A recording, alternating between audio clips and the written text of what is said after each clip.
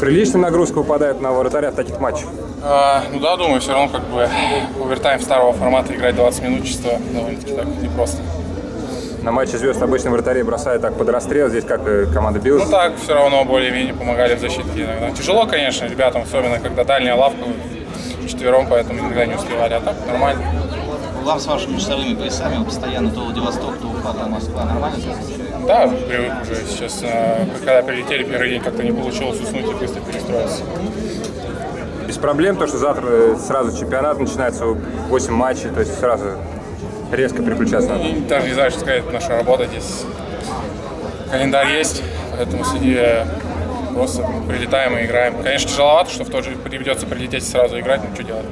Календарь есть календарь. Будете смотреть э, второй полуфинал раздевалки или вам все равно кто А, Да не, если по телевизору показывают, конечно, посмотрим. Там места нет, где стоять. Спасибо. Спасибо. Спасибо.